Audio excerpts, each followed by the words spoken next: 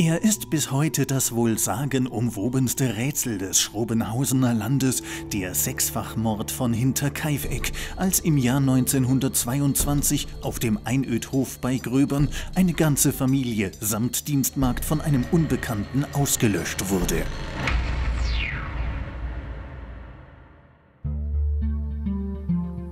In wenigen Tagen jähren sich die tragischen Geschehnisse zum 95. Mal. Gästeführerin Maria Weibel bietet in Zusammenarbeit mit dem Gasthof Bogenrieder regelmäßig Führungen nach Hinterkaifeck an. Am Ort des Geschehens befinden sich nur noch die Grundmauern tief in der Erde. Und jetzt finden wir Steine. Hier am Eck ist der Weg vom Hexenhölzl reingegangen zur Hofstelle.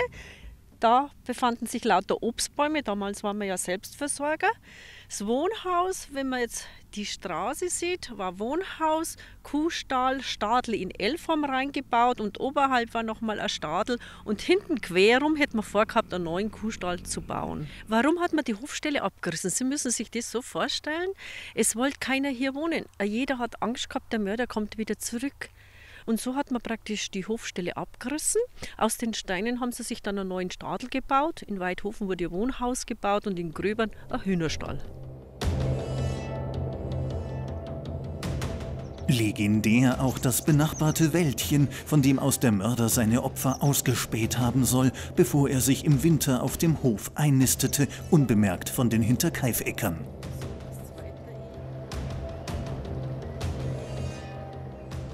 Wir sind jetzt hier am Hexenhölzl und das war jetzt der Weg von den Hinterkaifeckern, der Kirch- und Schulweg. Der Weg hat direkt zum Hof nach Hinterkaifeck geführt. Und unter anderem die kleine Zilli, das war der Schulweg von der siebenjährigen Zilli. Die Wanderungen rund um Weidhofen haben sich zum touristischen Erfolgsprojekt entwickelt. Selbst die letzten Ruhestätten der Opfer sowie einiger Tatverdächtiger ziehen die Menschen magisch an.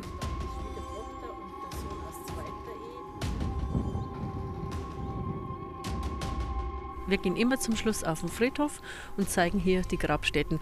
Und wie der Herr Schlittenbauer damals verstorben ist, gab es jetzt zum Beispiel hier in Weidhofen nur schwarze Grabsteine. Aber die Kinder haben ihn einen weißen Grabstein setzen lassen, weil sie wollten einfach die Unschuld vom Papa beweisen. Wir sind jetzt hier an der Grabstelle von den Hinterkaifecker und hier sind die Hinterkaifecker alle sechs beerdigt, auch die Magd und alle sechs ohne Köpfe. Und wie die Beerdigung war, waren Tausende von Leuten hier und man hat ja früher die Särge nochmal durchs Dorf getragen, so zum Abschied.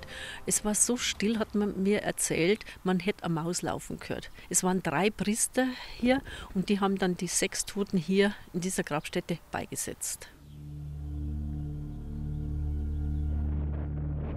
Nach 95 Jahren ist der Mordfall immer noch mysteriös und auch ein Stück weit faszinierend. Das beweist das rege Interesse an den Touren.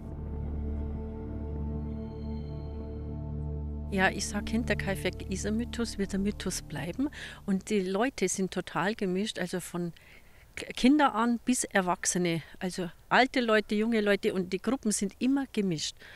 Und es ist halt eine sehr spannende Geschichte, weil man einfach in die Natur geht und man kann zeigen, wo war die Hofstelle, wo ist das Martal, wo ist die Grabstätte, wie haben die vielleicht gelebt und wo haben die gelebt. Und das ist halt für die Leute sehr interessant. Und weil man eben den Mörder nicht gefunden hat, darum bleibt es immer ein Mythos. Und der Tatort, der ist seit kurzem neu verpachtet und frisch umgeackert. Schon bald sollen hier landwirtschaftliche Produkte angebaut werden, die möglicherweise einen Hauch des Unheimlichen in sich tragen, aber sicher nur für Abergläubische.